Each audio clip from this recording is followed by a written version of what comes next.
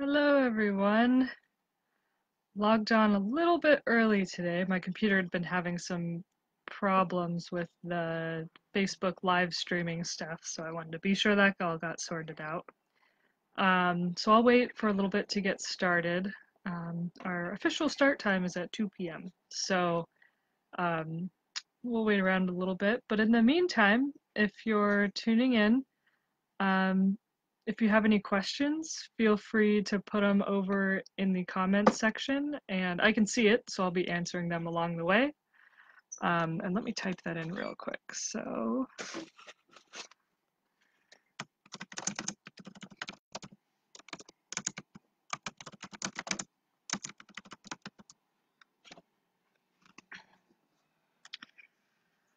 my computer's a little slow.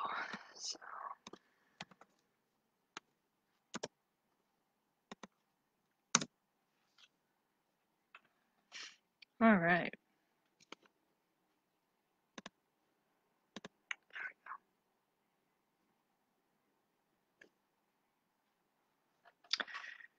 Cool. All right, so while people kind of trickle in, you can always ask questions in the comments section. Um, or if you have comments, always, you know, put them in the comments section. It works both ways. Um, and we'll wait a couple more minutes just as a little kind of introduction if this is your first time tuning in. This is Ask the Curator with me, Katie. I'm the interim director curator at the Clarke Historical Museum. Um, and we've been doing this kind of video thing um, weekly. So each Friday at 2 p.m., it'll be me or it'll be another staff member. Sometimes we've had board members and volunteers, and we kind of have plans for all kinds of different people to kind of host this. Um, and there is a way that you can be notified um, when we go live. You'll probably see it in your little comment section. Um, there might be a little window that pops up and say, be notified whenever Clarke Historical Museum goes live. Um, I recently found that out from a Facebook page of a guy from South Carolina, I think, who dresses up as Sasquatch and plays the saxophone definitely hit follow for that guy because that is awesome.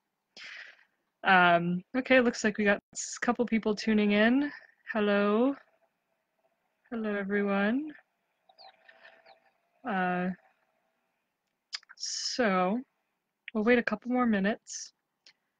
Um, so you'll notice that I'm not broadcasting from the museum. Um, I'm at my house. Um, we're all still working from home right now um, until we're legally allowed to, you know, reopen the museum and everything like that. So,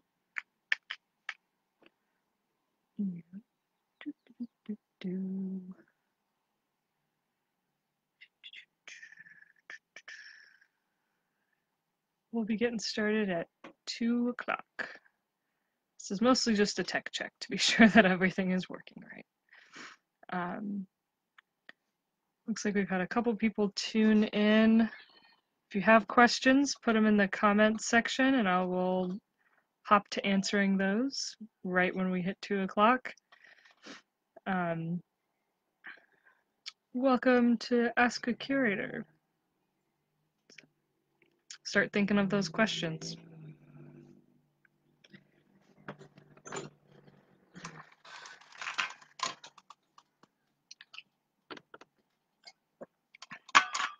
Welcome, welcome. We've just had about three people join us. Four people. Feel free to put your questions in the comments section. I'll start answering them right at two. Um, so I'm not exactly sure who's tuning in, but uh, I'm not sure if you're local or if you're from out of the area or whatnot.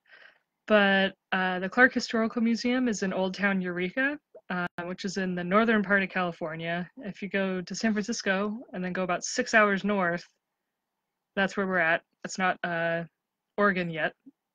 Many people think you go San Francisco, Oregon. Um, we're there. um, and we're kind of a small town, um, but we're the biggest town, I think, between well, it's between like Crescent City and San Francisco. If you're talking on the coast here, um, major shipping area, major logging area. It's kind of what we're known for is the redwoods. Um, yeah. So one more minute, and I'll go ahead and do a little little quick intro. Start chatting. Australia? Wow, that's cool. Someone just commented, said they were from Australia. Andrew John Delaney. That's cool. Welcome. Oh my gosh. I don't think we've had someone tune in from outside of the country. Um, that's really cool. wow. Awesome. All right. Oh, looks like it's two o'clock here, so we'll go ahead and get started. My name's Katie. I'm the interim director curator at the Clarke Historical Museum in Old Town Eureka, um, which is in Humboldt County, uh, home of Bigfoot. Um, for those of you from out of the area, um, we're probably the the biggest local history museum in this area. Um, we're based out of a historic bank building, the Bank of Eureka. It was built in 1912.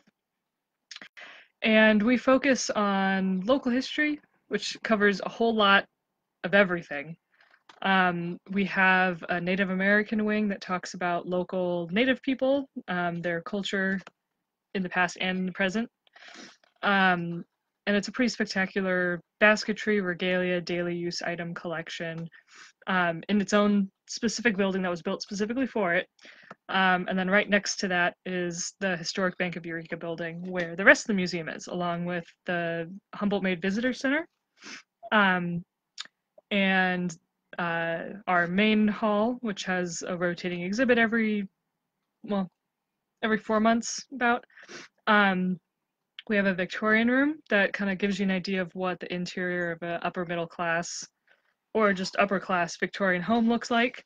We also have a new um, firearms or weaponry vault that opened in December, which feels like a very long time ago now, um, along with a community case that highlights different local organizations, um, and of course the visitor center. So the museum has been in the Bank of Eureka building since 1960.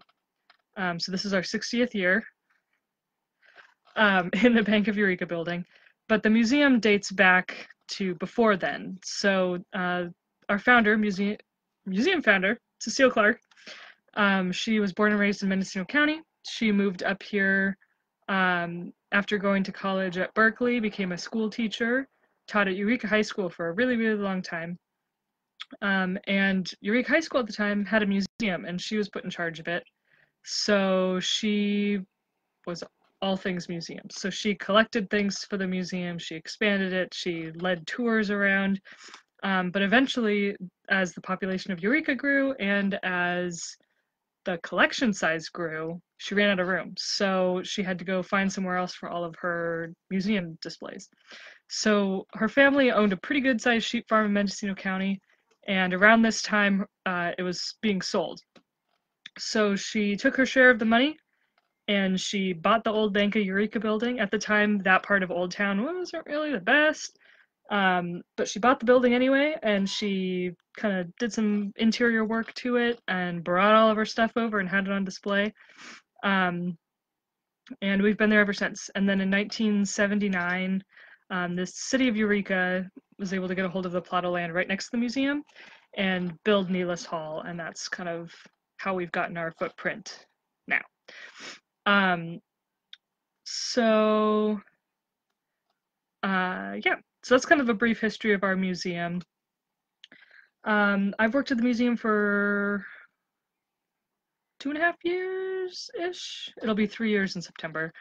Um, and I was originally the registrar. I was originally actually a volunteer. Then I was a registrar and then I was the registrar curator, which managed the main hall displays. I built exhibits, I did events, I did all kinds of stuff. Um, and now I'm the interim director, um, and I got this job in January. So it's been a wild uh, five five months um, being the interim director, but uh, we are doing good. So if you're tuning in now, or new to tune in, just a reminder you can ask questions in the comment section. Um, and they can be questions about you know, local history. You can ask about working at a museum. You can ask about our area. Uh, can ask about lots of stuff, and I'll do my best to answer. Um, so in the meantime, I'll kind of do some little kind of riffs on some other things um, that I have to talk about. But feel free to throw down any questions um, you'd like to hear answered live, and I'll be happy to. Um, so, we got one. So, can you explain about the pass the glove thing and the 52 museums thing you're involved in? So, okay, so recently there was, um, if you've been on social media type stuff, um, or been watching viral videos and that kind of thing, um, there was a video trend that I think started with people saying like, oh, I'm sitting at home and there's not much to do and I'm gonna go from having my not makeup face and then do a sudden transformation and boom now I got makeup. Um, so what they would do is they'd have a makeup brush and they'd be like oh da, da, da, and then they were just like hmm and then they'd kind of go cover up the camera and then when they moved back they'd all be you know done up and ready to go out on the town. Um, and that kind of went all kinds of different directions. Um, people called that the pass the brush thing. Um, there were other names for it as well. But there was a group of museums online that wanted to get together and do something very similar. So there was um, someone said we should try and do something like this, and it's it's kind of funny because I ended up proposing the thing where um, say okay, so we work at museums. So what's one thing that we always kind of have on hand? It's gloves. Like quite literally, I actually have uh, gloves in my pocket from when I was at work. Um, so I proposed, okay, well, how about we do a pass the glove kind of thing? So you know, you you know, catch the glove from somewhere and then you put it on and then you pick up something cool and then you put it back and then you toss it up somewhere else.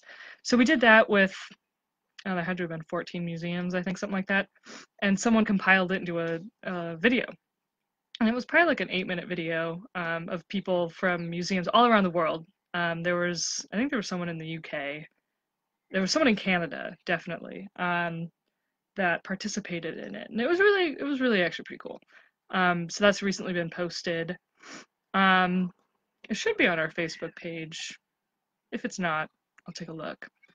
But that was kind of a cool way to meet some people from different museums, do a collaborative project kind of thing. And it was pretty, you know, quick and easy to do. Um, I it did, of course, with most video things, it took me a couple takes to get uh, to get the video right. Um, one of them, I kind of dropped the glove, and I was just, oh, geez. Um, but it was a lot of fun. So check that out if you haven't yet. Um, and then the 52 Museums thing is there's an Instagram page called 52 Museums, just the number 52 and then museums, um, where every week there's a different museum that takes over the page for the week. And hence the name 52 Museums, 52 Weeks, that whole thing. So we were able to get it for this this current week that ends on Sunday. Um, and it it was kind of a last minute thing. We found out I think on like Friday of last week, um, and uh, you're supposed to do about seven to ten Facebook or Instagram posts a day, which is which is a good bit um, of content to put together for a week. Um, but our media person Dana was slaying and did a really good job at getting everything up there. Um, so if you're on Instagram, type in at you know, little at sign 52 museums and pull that up and you'll see a bunch of stuff from us on there. So that's pretty cool. Uh, it's another way to get connected with the larger museum community. Um, if you're also looking for something fun and happen to be on Twitter, um, you can go to um, hashtag curator battles. And that was, I think, the Yorkshire Yorkshire Yorkshire Museum um, put together a um, uh, Twitter feed where they say every week we're going to have a different theme, and you know museums should submit a photo of their weirdest object or their fanciest shoe. So that's kind of fun as well. Okay, so we got another question, and I just want to be sure I didn't miss anyone else. Okay. Can you talk about the World War II posters you recently scanned and what you will be doing with them in the future? So, yeah, so this week we did a collaborative project with the Humboldt County Historical Society. Um, they're running out of the Barnum House in Eureka, and um, which is on H H Street. Um, and they got a grant a while, mm, a couple years ago maybe, um, to get these large format scanners. So there's a big movement right now in the museum world to digitize stuff, and in the age of corona that makes a lot of sense um, because people can't come into the museums and see your stuff so it's nice to have it available for people at home to look at people at home to research. Plus it's also just good for the object. Um, it keeps it from being excessively handled. If something were to happen to the object which you, know, you make lots of plans to be sure that doesn't happen um, you have a version of it if it gets damaged things like that. So it's a good way to preserve your items in their, you know, actual existent, you know, sense. But it's also good to preserve them in a way where other people can look at them and share, you know, information, stuff like that. So, um, we I was looking around our collections and we have this really cool collection of World War II posters. So you might be familiar with the we Want You poster, you know, for the U.S. Army. And lately, there's been a lot going around with um, the Victory Garden posters. So the Victory Gardens were the government encouraging people to grow their own food um, to supplement their rations, um, the rationing system that was going on in World War II. Um, so Victory Gardens were things. So when I started seeing those posters around, I was thinking, hmm, this might be a cool opportunity to digitize some of these posters, share some information about these posters what they were kind of trying to get everyone to do for people that aren't super familiar with it. Like when I was in high school, which wasn't a super long time ago, um, you know, we didn't we like learned World War II was a thing, but we didn't learn a lot about what was going on.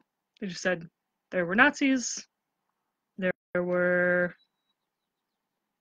you know, there were Nazis and everyone fought the Nazis and then the Nazis are gone, which is super duper ridiculously simple.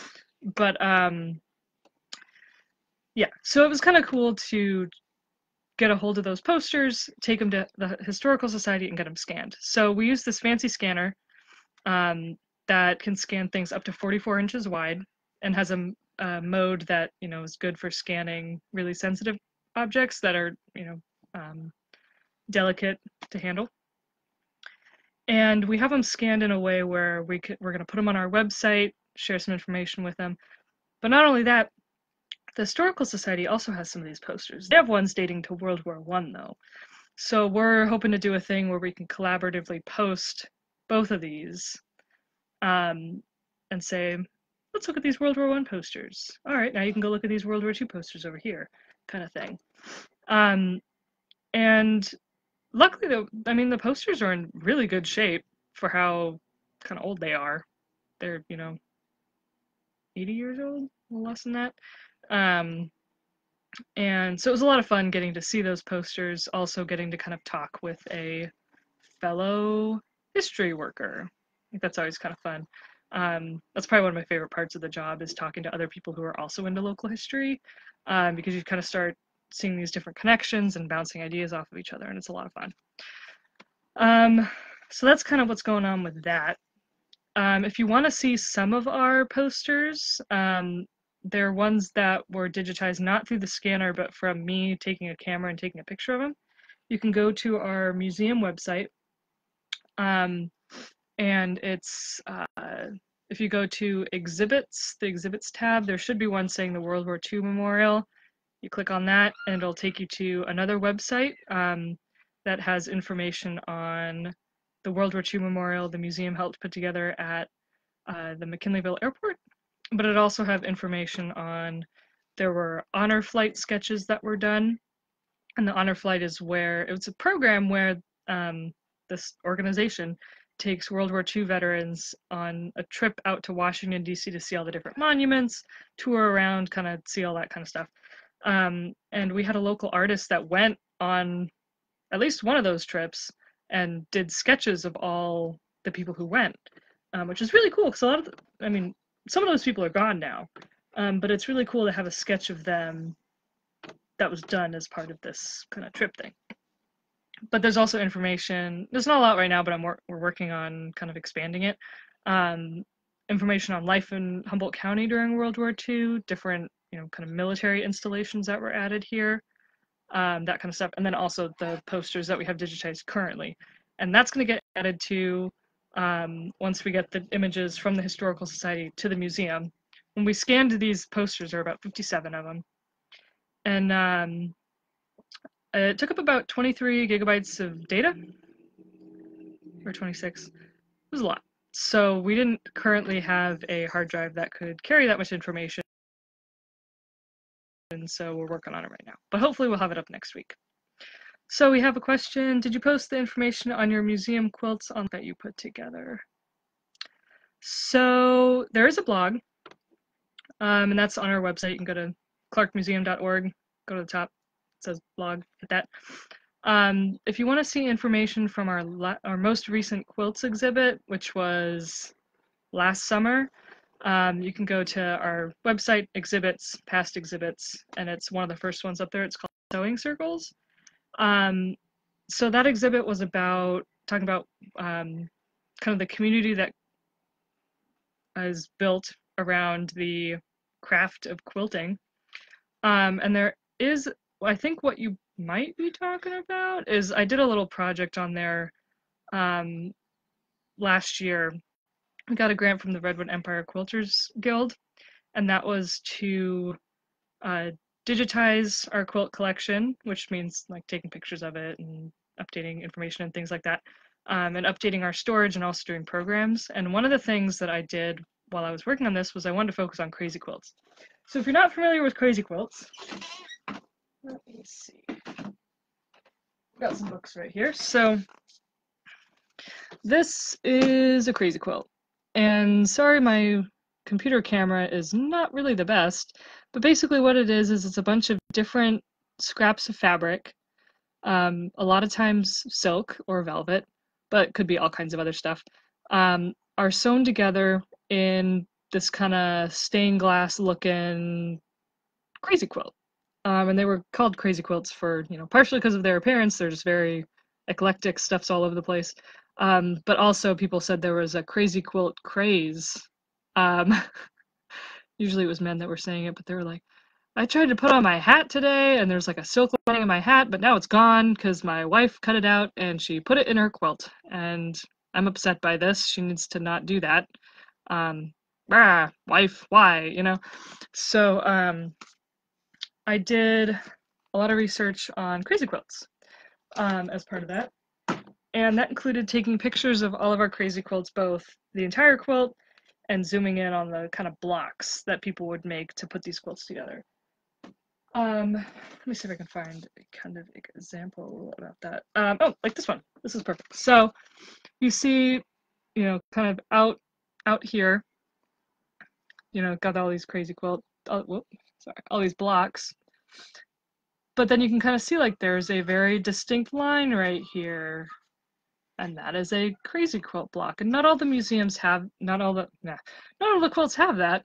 Um, but many of them do where people would put together like this square first and then they'd, you know, sew it to this one and then kind of continue on like that.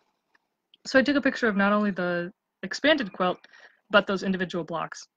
And thanks to the grant, which was super exciting to get, um, we were able to hire a paid intern to help out with this project, which is really important. So, um, just a little riff on paid internships. It's really important to pay people for the work they do. Um, and that's something that is kind of a goal for me, at least, to expand the availability of paid internships through museums. It allows people who can't work for free to be able to work for experience in museums. Um, and it's a way to make uh, these programs more equitable and allow different people of different backgrounds to do museum work. Anyway, that's kind of my riff on that. If you want to talk more about that, let me know. Um, I'm always looking for ways to expand that program. But anyway, so we had a paid intern that helped out with this. And the outcome from that was I put together a catalog, which is did it's digital because um, we didn't really have money to print it. Um, but it starts out with kind of an explanation of crazy quilts and how they came to be and um, kind of all these different factors that led to crazy quilts being a thing, but then also talking more specifically about quilts in the museum collection. So I'm trying to remember how many crazy quilts we have. I want to say we have like 10. It's been a little bit since I've looked at it. Um, but the quilts include a good bit of local information, which is really cool. So some of them include initials. Some of them, when they were donated, the person said, this was a quilt that is made out of fabric from when my brother was traveling abroad, and he sent it to me, and I made it into this quilt. Um, which is really cool because it talks about, you know, family connections in a very specific time period. It talks about um, the different fabrics people were using. It gives you a really interesting look into how um, different fabrics degrade over time because um, you can see them right next to each other on the same quilt. They've been stored in pretty much the same conditions for a good period of time, but you might have one piece of fabric that's absolutely shredded and there might be only two pieces left of it, and the other piece is fine. Um, it also gives you a look kind of into different, I guess, styles of craft at the time. So I, I say craft rather than art. Um, this was something that uh, a former coworker of mine um, kind of had to explain to me. She did a whole master's in, in craft and all this stuff. But it's called craft rather than art because women didn't go to specialty schools necessarily to learn how to quilt and sew. It was more of a home craft kind of thing. And people get all weird about um, the fact that um, craft isn't seen in the same elevated status as art. That's a whole different thing. Um, but technically speaking, it's a craft. And there's a lot more that can go into that, but I'll just kind of skip it for for now. Um, but anyway, it's um, you know these blocks also include a variety of embroidery stitches, which you might have been able to see in that last picture, but um, and if these quilts weren't so fragile, I'd actually you know go over to the museum, break them out, and show them to you guys, but um, they're kind of hard to handle when it's just one person, especially if you're trying to maintain the integrity of the quilt. Some of them are really fragile, so we try not to move them unless we absolutely have to. Um, hmm. okay, so here's kind of an example. So this was a sketch that someone did of a crazy quilt block. And these are all stitches that are, let's see which ones, square and V variations combos. Um, so when you're looking at these stitches, one of the things that was really interesting is that um, you know sometimes women came up with the stitches sometimes they learned about them from friends and sometimes they were shared in different magazines um, there were different patterns that came out for quilts and things like this um, because crazy quilting was actually ridiculously popular at one point in time um, let me move that down so you can kind of see it, but okay. So it was really interesting to see the influence at the time for Victorian women, particularly, in that information could travel a lot faster. So imagine, I mean, it's it's very similar, I'd say, to uh, the movement from no internet to suddenly having internet um, information could travel faster, data could travel faster. You could learn new things because you were able to get magazines maybe from the East Coast um, and things like that. So, you know, it it talks to how um, kind of influences that might have been more regional before the expansion of travel, which includes you know things like railroads, um, specifically railroads. Um, and, you know, it speaks to how that information went from moving pretty darn slowly to maybe, you know, people moving across the country to all of a sudden you could load that magazine up on a train and it'll be on the other side of the country in a week. And then I know, you know, what's going on on the East Coast. I'll be behind a little bit, granted, but um, I won't, you know, be totally out of the loop like you might have been um, it kind of went hand in hand with collage and decoupage. Yes, yeah, it did. Collaging was very popular in the Victorian period. Um, you know, there were advances in printing, and so people could make these really, really spectacular advertisements and women would collect them, put them in little scrapbooks. Um, and crazy quilting, and to some extent, um, you know, collage and scrapbooking and things like that was a response to um, the rapidly industrializing world. So, as things industrialized, and this is kind of more particularly in larger towns, I would say, rather than you know small towns. Um, that that might not be hundred percent. Um, but things were changing very quickly. You know, people were working in uh, these manufacturing uh, factories. I was gonna say warehouses, manufacturing factories, and you know you might be working in close quarters. You might be working for ten hours a day.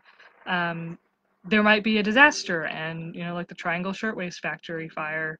Um, there was a building in New York that employed a large number of women and children, um, usually younger girls, um, that burned to the ground because there weren't any, there weren't safety features in effect. Um, but I mean, even in even in Humboldt County here, Victorian women were seeing that their world around them was rapidly train- changing. You know, you might walk out into one of the green belts nearby with your family, bring a picnic, hang out outside when the weather's nice, and you know, and then maybe the next year, logging usually took place in the wintertime. Maybe the next year you'd go out there and your picnic spot's gone and there's just stumps. Um, they were starting to notice that these forests were rapidly shrinking due to logging that was going on. Um, and at the time, there were so many redwood trees that people were kind of a good number of people were under the impression that these trees are always going to be here. We could cut down as many as we want and they will never go away, which was not true, especially as technology got better and people could start cutting down larger and larger trees. Because originally, when people came here, they had tools that might be used to cut down, you know, a two foot diameter tree, but these trees might be 16 feet diameter. So it would take you a very long time to cut down one tree. But as the technology got better, um, trees started falling a lot faster. So that started alarming Victorian women, and particularly upper class women who were married to these loggers, um, because they were the ones that had the free time to take their families out and go hang out at, you know, uh, like a place like Carson Woods, which um, Carson Woods, I want to say it was in Fortuna. Um, and it was noted as a particularly beautiful forest. Redwood forest, you got the redwood sorrel, which is kind of the, when you see um, a lot of, you know, various different pictures of the redwoods, you'll see these really tall trees, and then you'll see just kind of a carpet of what looks like clover, and that's all redwood sorrel. Um, you know, sometimes you'll see some ferns and things like that. But Carson Woods was noted to be a really beautiful spot. And people are, there were, you know, a number of upper class women that were saying like, this is a really nice forest. We should, you know, make turn this into some kind of park or something. And they had kind of started assembling to do that uh, when it was logged and everything was cut down. Um, and that is kind of the beginning of the what's now known as Save the Redwoods League. Now, those women didn't start Save the Redwoods League, but here's the cool part. And I really like this story. There's an entire book on it. Um, Who Saved the Redwoods? It's by Laura and James Wasserman. Spectacular book, incredible history. Absolutely love it. But these women knew about these redwood trees. They knew about how fast they were coming down. And granted, they didn't want to stop all redwood logging because that was how their family made their money and that was how they made their living. Um, but they wanted to save. You know, this part, we're going to save this, but, you know, we can log this other part. But this part is spectacular. We're going to save this. So what they started doing was they started kind of talking amongst themselves. There were different women's groups at the time, you know, things a lot of times people now kind of just branch them under women's clubs, but they were called Monday Club, they were called Tuesday Club, they were called women's societies, things like that. And they started talking about how important it was that we wanted to save some of these trees for our families, for clean water. That was a thing that was connected. Um, we want to save these trees. So, particularly the Eureka Women's Club, in particular, um, they had a lady and her name um, was Laura Perrott Mahan, and she is my personal hero. Freaking love her. She is awesome. Um, if you go down to Southern Humboldt, there's an interpreter there named Griff, who is also a big Laura Perrott fan, Laura Perrott Mahan fan club forever. Freaking love her. So anyway, um, so she was kind of a powerhouse in this whole thing. She was married to an attorney. She was an artist, um, and she did all kinds of stuff. But her thing was the redwoods. So she and a number of other women from the local women's club were starting to get into this whole redwood um, preservation movement. So she was able to get together with the Calif- the California Federation of Women's Clubs, which was kind of new at the time. Um, but that entire group had its own kind of section on forestry, which is what you know forest conservation was known as at the time. So they had an entire forestry section, and they were trying to figure out where they wanted to have their next big general meeting because they had them once a year. Um, they were, you know, in the Bay Area, they were in Southern California, they kind of moved around. And Laura Perrott Mahan and her crew of women's club women were able to convince the Confederation to bring the meeting up to Humboldt County, which was really cool. And this wasn't particularly unusual. I mean, Humboldt County obviously is very far away, but a lot of these are wealthier women. They don't really have to work. Their husbands are working, or they have a bunch of money from other endeavors and things like that. Um, so taking you know a couple days to get up here, hanging out here for a week, and then going back wasn't necessarily a big deal. So a lot of them took a boat up. Um, I'm trying to remember the exact year for that, but they came up here, and um, one of the things that was put on the conference schedule was to go and check out the redwoods. And they didn't just check out any redwoods. They took them out to um, they took them out to southern Humboldt. So if you're in Eureka, drive about an hour south, and that's what's now Humboldt Redwood State Park. So there's a grove there called the California Federation of Women's Clubs Grove, also known as the Women's Grove or any other number of names. Um, and they brought all the ladies out there, walked them around the trees, and kind of had a conversation about this is a forest. Check it out. Look at this tree. It's like 20 feet in diameter. You know, not 20 feet, but it's like 15 feet in diameter. It's huge. Um, and here's the thing, because now that there's this, um, the Redwood Highway was starting to become more and more of an actual road, it was becoming easier um, for loggers to get out there and to start cutting down trees. So there was a Pacific Lumber Company was out there, and they have an entire really fascinating history if you're ever looking into the history of Humboldt County and redwoods. And the eventual kind of end of Pacific Lumber Company is really fascinating. It gets crazy, just going to tell you that. Um, but they were working their way on logging that kind of that area, and that was where a lot of old growth redwoods were. There's a lot of um, river flat areas, and redwoods love the river flats because um, there's lots of nutrients in the soil and they can so um, they went out there they were checking out the trees and look you know we can save this grove from its imminent uh, destruction if we all pitch in money and purchase this grove so they were able to raise the money this group of women. They raised the money saved the grove a um, kind of got ahead of myself there. So at a certain point in time, this uh, what was it, 19, 1917, Laura Perrott got a hold of these three guys. Um, Merriam was one of them. Uh, John C. Merriam.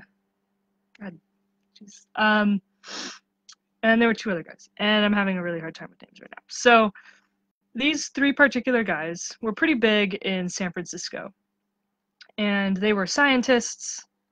I think at least two of them were eugenicists, but they were pretty pretty powerful guys with friends in high places. So Laura Perrott and her gang of women's club members said, "Hey guys, you should come up here and check out the redwoods because they're getting logged and we need help. And you guys have the connections that are needed to save these trees. So three guys come up and uh, they tour around the redwoods and say, hmm, okay, these redwoods are spectacular. uh, they need to get saved. And so they kind of start campaigning and saying, hey, local people, help us raise money to save the redwoods. And all local people are saying, yeah, we know, we're working on it. And the three guys from San Francisco say, hmm, okay, yeah, let's uh, tag team with y'all on that. And those three guys later went on to found the Save the Redwoods League. Um, and they kind of get the the spotlight when it comes to saving the redwoods. Um, these three guys and the entire kind of organization they found around saving the redwoods, and um, women oftentimes kind of get bumped to the side. Um, unless you're talking about something like Women's Federation Grove, it's literally on the name. It's kind of hard to push them aside. But um, anyway, so that's something kind of cool to know. Laura Perrott Mahan is a boss, and she did a lot of great work. Um, one of the things she's known for, and people kind of debate about if she was in fact the very first person, or at least the very first white woman, to put her like literal body on the line to save a tree. Um, but there was a point in time near what is now Founders Grove in Humboldt Redwood State Park where Pacific Lumber Company said, all right, there's some people raising money to purchase this land to save it as part of a you know redwood grove because that was how save the redwoods league functioned they would raise money a person would purchase a grove and then they'd donate it to um or they'd give the money to save the redwoods league redwoods league would officially purchase it and then they'd eventually a little down the road would give it to what became the state parks so anyway um so there was a grove that was under consideration for purchase but people are still raising money for it and Pacific Lumber says, okay, we're not going to log it. We'll wait until you guys raise the money. But for one reason or another, they decided to try and put a spur line, which is a offshoot of a railroad line, um, into the middle of this grove. So they're going out there, they're cutting down trees, they're putting down rails, things like that. And Laura Perrott and her husband get wind of this. So they book it down there as fast as you can book it in a older car on a dirt road. Um, but they book it down there. And Laura kind of gets into the fray and she's standing in front of a tree. She says, Hey, no, you are not cutting this down. You're not even supposed to be logging here. This is not going to happen. Um, so she's standing in front of the logging equipment. Her husband books it back up to Eureka and files an injunction against Pacific Lumber Company to keep them from logging that area specifically. They could log other areas, but not that area. Um, and so I've seen th- things somewhere where it's like she was the first person to stand in front of loggers and keep them from cutting down trees, but there's not really I don't think there's documented evidence of that. I don't know if there was anyone. That would be a really fun thing to figure out if anyone does figure that out. Uh, please let me know. I will be very interested to know. Um, but anyway, so that's kind of a glimpse into the boss life of Laura Perrott Mahan. Um,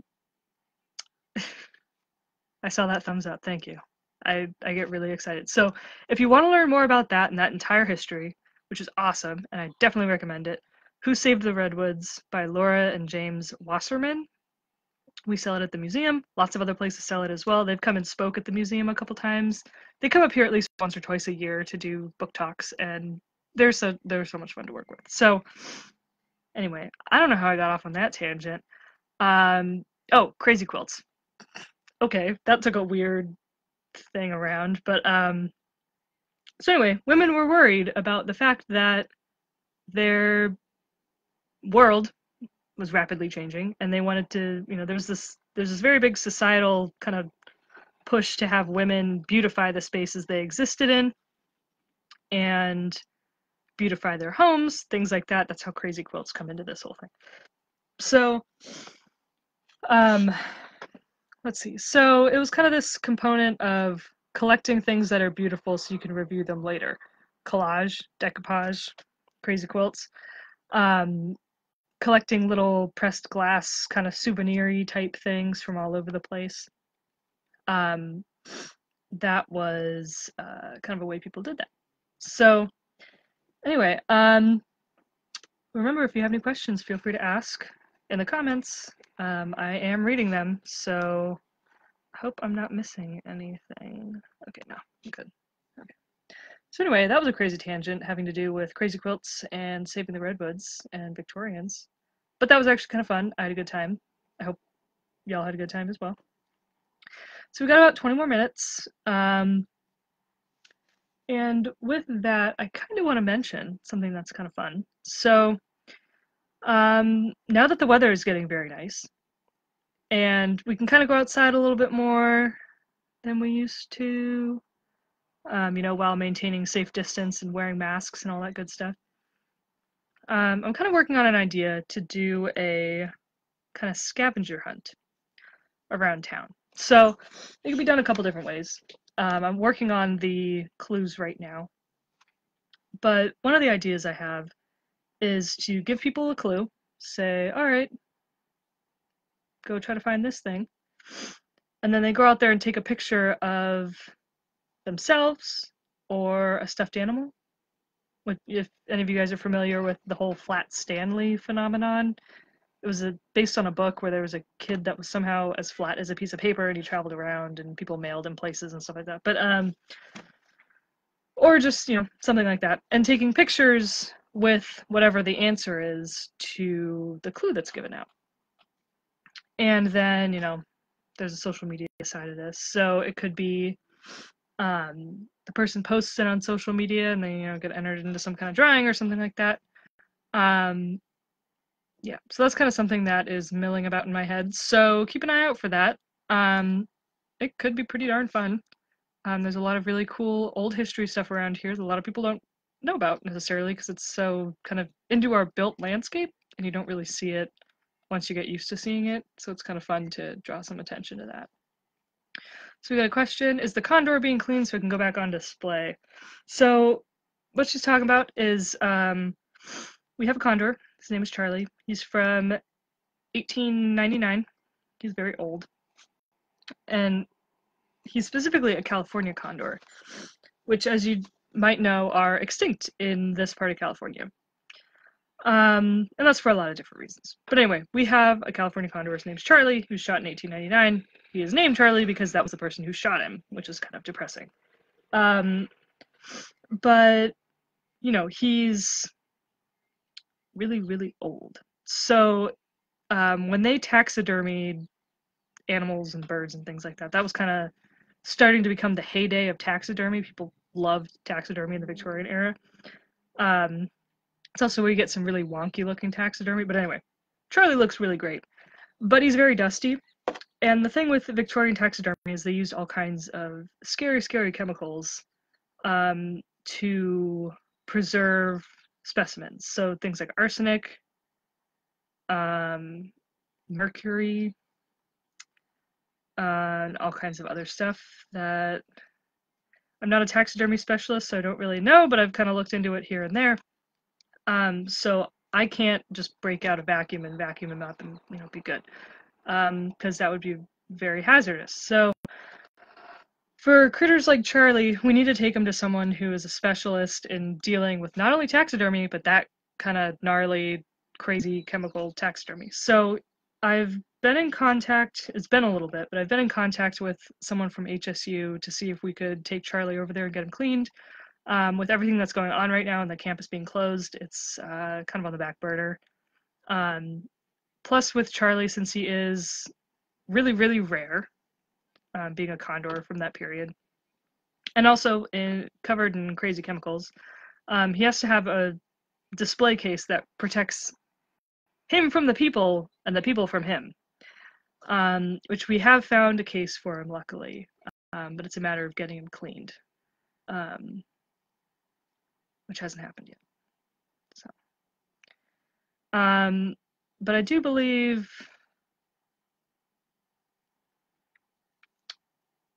When did there are pictures of Charlie around? I think they might be on our website, but I'm not 100% sure. Um, but part of what's also interesting about Charlie is that he is part of a larger bird collection. Um, Cecile Clarke, when she was collecting things, she collected natural history stuff, she collected person history stuff, she collected rocks, she collected all kinds of stuff. And so she had a huge bird collection and I don't know if she started it or if she kind of gained it when she was running the museum at the high school. Um, but there are a ton of birds owls, condors, seabirds, forest birds, other random birds, all kinds of birds. Um, and we have pictures of all of them in the 1960 original museum at the bank where we currently are. But from what I know, most of those birds have made their way back to Eureka High School and they have like a bird display kind of area, including um, Charlie's counterpart, I would say. There is another California condor, and the last I heard, he was at Eureka High School, which is pretty cool. Um, if you guys have never seen a condor, they're really interesting birds. So they're scavengers. They um, look kind of ugly. Their head looks pretty ugly. Um, it's all bare skin because when they go and they eat carrion, so they eat dead stuff. Um, but when they're you know kind of digging around in dead stuff, um, things get on their head. And when they are in the sun, the sun kills the bacteria because it's on bare skin. It, it can't get into feathers and stuff like that because it's in their head. Um, and that bare skin helps with that. So they're kind of ugly looking, but they're huge. Like their wingspan, I think, can be like 10 feet, um, which is really big. So, you know, imagine taking two five foot people, having them stretch their arms out, um, and then stand fingertip to fingertip, and that's about how wide the wingspan is. Um, and we had school kids touring the museum, which, you know, we don't right now, but um, and Charlie was on display, I'd oftentimes say, okay, kids, what, what do you think this is? So people would say turkey vulture. I think someone said crow one time, which I was like, whoa, you got some crazy crows if that's what a crow looks like. Uh, it's a condor. You guys ever heard of those? And they said, no. And I said, okay, well, they're not around here anymore, but they're being reintroduced in different parts of the country, um, including Southern California and um, the Grand Canyon. And they're really cool birds. So I said, okay, this kid and this kid, I want you guys to stand with your arms sticking out, fingertip to fingertip, because they're they might be about five feet tall or so, like that. And they'd be like, "What the heck am I doing?" So they'd stand there and be like, "Hey, hey," you know. Um, and I'd say, "That's the wingspan of one of these birds." And that usually got a couple of oohs and ahs from the crowd. And then usually someone would say, "Is that thing dead or alive?" And it's gonna kind of be like, uh, "Um, it's taxidermy." And some kids knew what that meant, some kids kind of didn't, and then I'd explain it. And some would absolutely lose it, and then other kids would be okay with it. And they'd be, oh yeah, we got you know deer head on our ball or something like that. Um, and yeah, so that was always fun. I I like Charlie, and I like introducing him to the public, and so it's kind of a bummer that he's not on display right now. Um, but he's kind of a hazard. So, but okay, so to kind of clarify a little bit, He's not a hazard unless you touch him. If he's just sitting there, that's okay. He's not like exuding radioactivity or anything like that. Um, it's when your skin comes in contact with him that's when it kind of gets to be a little scary. Or if you, you know, poke him and dust flies off. That's that's where it gets a little dangerous. If he's on display and he's in a case, he is good. He's good, you're good, everyone's good. So just wanted to kind of clarify that. So we've had people, looks like, tune in and out. So if you have any questions, feel free to ask them in the comments section. Today we've covered crazy quilts, we've covered redwood conservation, we've covered condors, we've covered collages, we've covered social media stuff. We've covered a lot. Um, oh, and scavenger hunts. We also talked about that. So feel free to ask any questions you have. Um, so, oh yeah, we also talked about World War II, World War II posters and things like that. So, um, let me see real quick.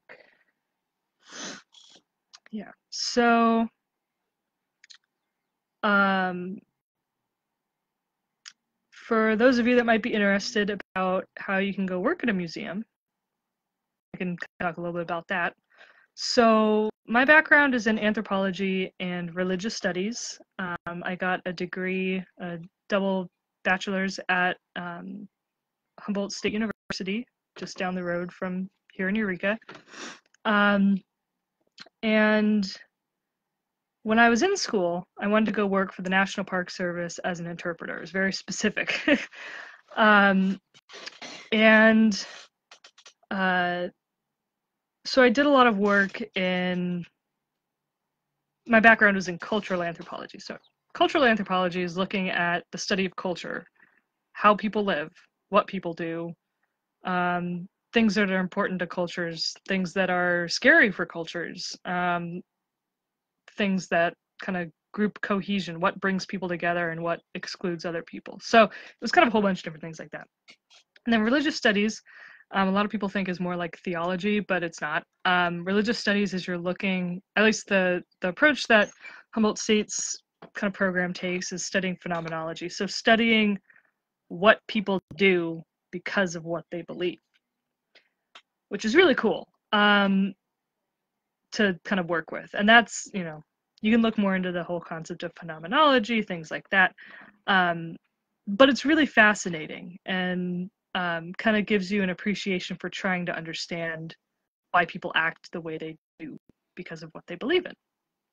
And that can be adapted to all kinds of different things. And that has been enormously helpful in working at a museum. Just going to say that. Um, so I don't have a museum background per se. I volunteered at a museum when I lived in Southern California. It was uh, Mission San Luis Rey, which is in Oceanside, if you're familiar with San Diego, um, a historic mission site. So there were local native people that lived there or were kind of forcibly moved there um, and worked there. There were friars, there were people from Spain, there were people after Spain, there were people from America, was all kinds of people. Um, so I did a little bit of work there, um, but other than that, I hadn't really done much work with museums. I went to museums. I liked learning about history. Uh, when I was growing up, I'd constantly fight my sister for the TV remote to watch the History Channel, but we usually ended up watching Animal Planet, um, that kind of stuff. So, and I didn't take any history classes when I was in college. I, you know, did take them in high school and all of those stuff, and I always had a good time with them. Um, but I didn't take them in college. So when I got out of college, I was working at Humboldt Redwood State Park in southern Humboldt. And I was an interpreter. So I was like, yeah, this is this is it. This is great. This is a first step. This is awesome. So um, you know, part of that was learning about the natural history of the park, which is kind of a really kind of heavy focus at that particular park.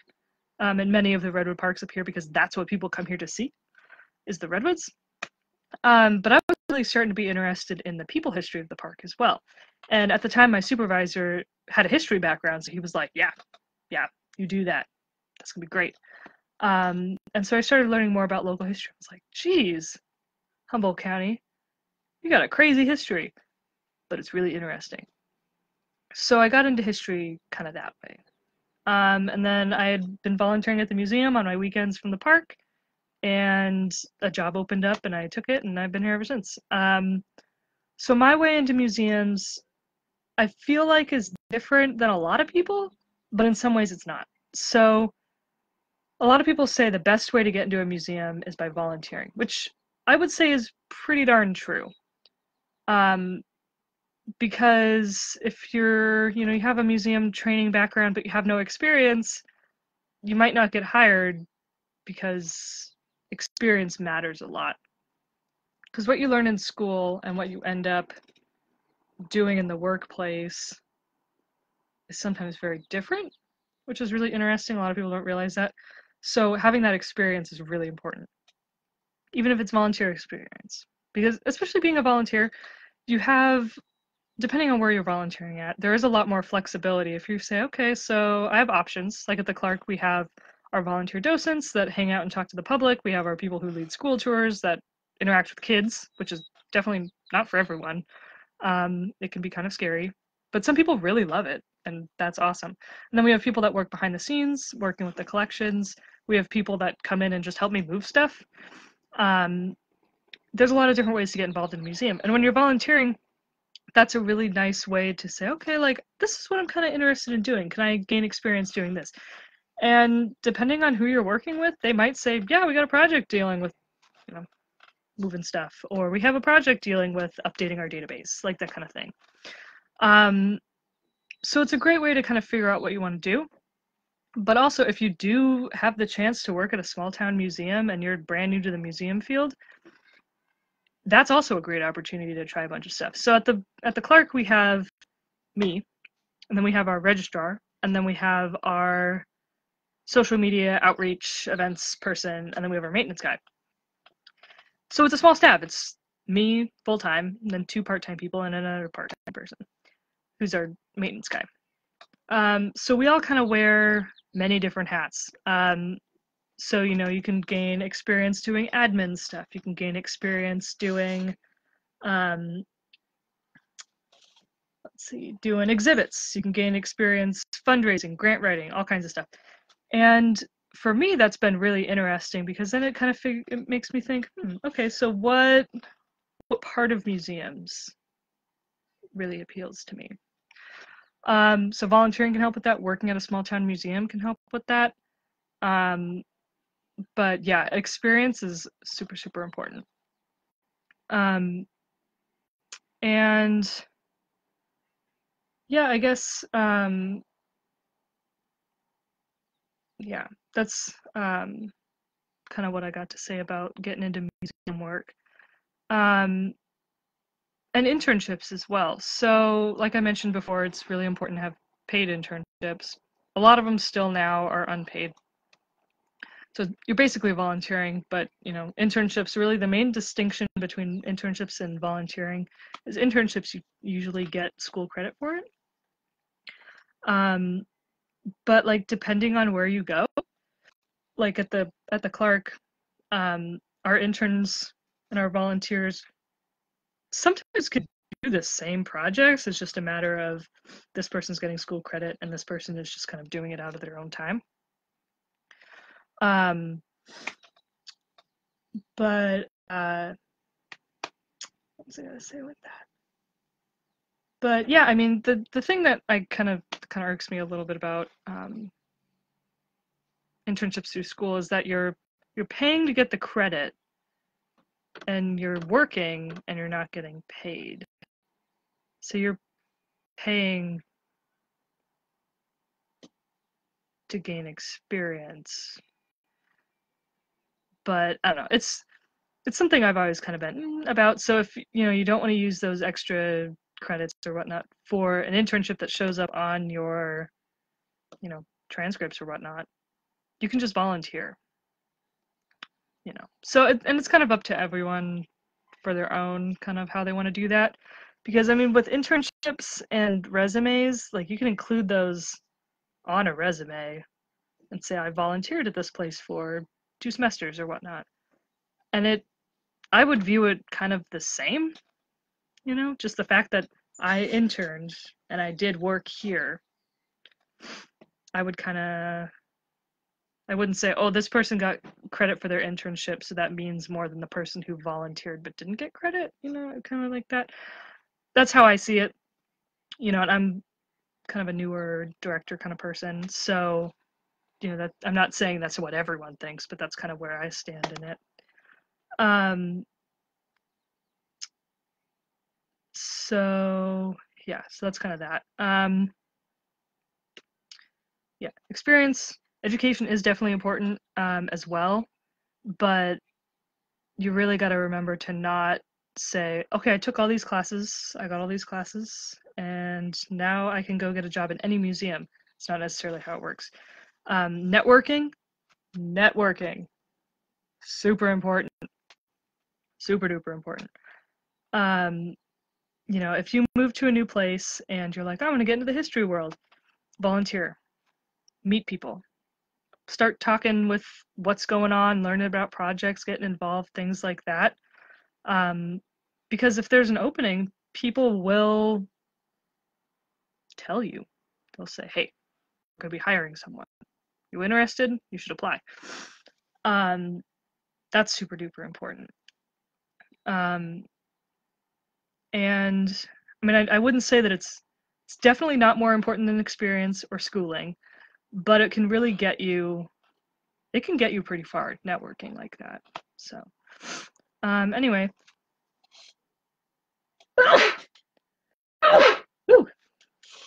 okay, so it looks like we're about done for today. Um, thank you for all of those who tuned in, tuned out, tuned in, kind of moved around. Um, I had a pretty good time. Uh, you know, I, I like these ask the curator things. Um, kind of gives me some time to riff about stuff I'm working on and things like that.